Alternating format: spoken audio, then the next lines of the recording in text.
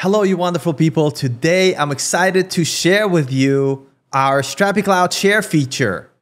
It's a feature that allows you to share the project that you're working with others. All they need is a GitHub account and you'll be able to send them an invite and have them join your project on which you could both collaborate. To get started with Strapi Cloud, you could go to our website at strapi.io click this cloud menu button and start your free trial. Now, I already have a couple of projects running, but you could create your very first one and check it out. If you're wondering how to deploy your first Strapi project to cloud, I'm going to link to a video somewhere in here that you could check out.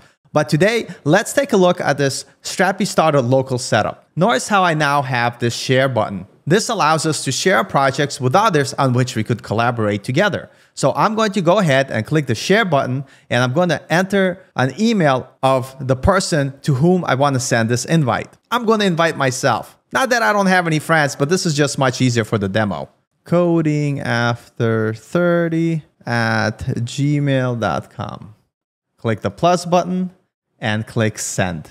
Great, invitation sent. And as you can see here, my invite is pending. Now I'm gonna log into my Coding After 30 account to look for the invitation email. Once you receive your invitation email, I'm going to go ahead and click accept invitation. This is going to take us to our Strapi login. You do have to have a GitHub account to log in. I'm going to click login with GitHub. If you already authorized your cloud application, this should be straightforward. If not, you're going to have one additional step where GitHub is going to just confirm with you, do you allow Strapi to use and authorize GitHub as authentication method. But once you signed in, you will now see the dashboard of the shared project. So if I go to Strapi Cloud, I only can see the project that's being shared with me, which is pretty cool. Now, when I click on the project, I'm able to visit the application. I'm able to trigger deploy. If I go into the settings, you could see that there's certain options that I don't have access to. For instance, I cannot delete this account, which makes sense because I'm not an admin user. But you can make changes to your domains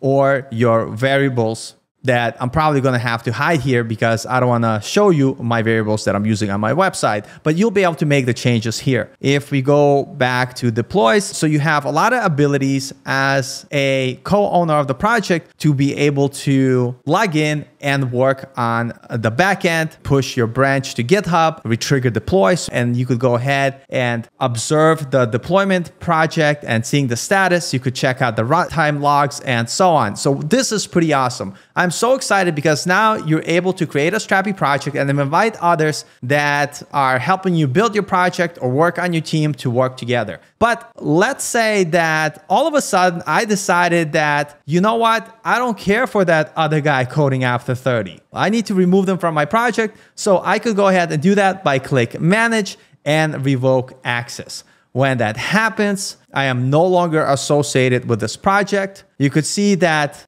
it tried to look for the project that I was trying to originally log in and you saw that not found message because I no longer have the access. This is pretty awesome. So I really quickly want to showcase the share feature with you. I think this is amazing because now it allows everybody on your team to be able to collaborate on one single project. I hope you're just as excited about this feature as I am. And if you have any questions or you just want to stop by and chat, Monday through Friday, 12:30 p.m. CST time. We always have our Strapi open office hours on Discord. So stop on by, say hello, be part of the conversation. Otherwise, we'll see you all next time. Thanks for tuning in and have a great rest of the day.